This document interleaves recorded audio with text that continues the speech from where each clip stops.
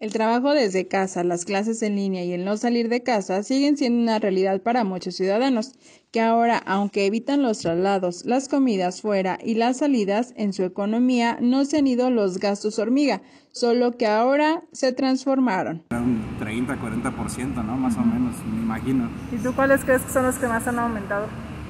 La comida, la comida y lo que son los, este, los gustos, ¿no? La, la gusguera. Sí eh, no quiere salir de casa porque precisamente hay que tener las medidas y tener un cuidado, pues sí necesitas de generar otro tipo de atención. ¿No? Cositas así como, ay, voy a comprar una paleta o unas papas o cosas así pues imprevistas como antojitos. Pues sí, sí, no ha aumentado. ¿Qué tanto, señora? Será un 30%. De acuerdo con Benex, en la nueva normalidad realizan otro tipo de gastos desde casa, pero siguen siendo aquellos que se hacen sin conciencia los que pueden afectar tu presupuesto y sobre todo tus ahorros. Por eso aquí te decimos cuáles son y cómo evitarlos. Entre los más comunes están los cargos de envío en cada compra online. Antes de hacerlas, revisa si el producto vale la pena o el envío saldrá más caro que la compra, si realmente esos productos están en oferta y busca otras posibilidades de adquirirlos. Pues sí, comida a domicilio más que nada. Pero así compras por internet, bueno, sí también algunas otras que, que, en Mercado Libre me pongo a ver, como hay más tiempo, pues me pongo a indagar un poco en las aplicaciones. Pues muchas veces nos dejamos llevar por la publicidad. ¿eh? También los productos que metes al carrito virtual del super para darte un gusto, como los chocolates, galletas, papas, cervezas, entre otros, que antes ni siquiera sabías que estaban en el pasillo, pueden ser un dolor para tu economía. No se trata que dejes de agregar productos al carrito, sino que revises qué es lo que vas a consumir o si son una compra innecesaria.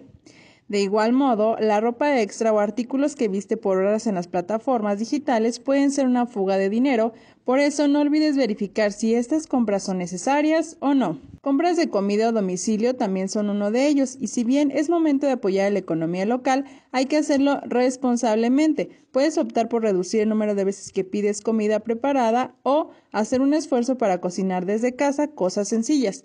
Planifica tus alimentos con anticipación y será de gran ayuda para tu bolsillo. Otro de los gastos en los que tal vez se puede ir tu dinero es una segunda o hasta una tercera plataforma de entretenimiento, cuando antes usabas solamente una. Para evitar este gasto extra, revisa cuál es la que más usas y la que se adecua a lo que te gusta ver. Más que nada en cómo tengas eh, ordenado lo que es este, organizado tus gastos. Si sabes que tienes tus gastos bien organizados, no te queda para gastos hormiga se mejor un 50%. Lo que no hacías antes, que lo manejabas de manera normal, ahorita sí ya lo es como cierta necesidad. Según la Conducef, en la normalidad anterior, los gastos hormigas son alrededor del 10% del salario del mexicano, por lo que con esta nueva normalidad no olvides poner atención en aquellos que no necesitas para no desequilibrar tus finanzas. Informo para Mega Noticias, Blanca Padilla.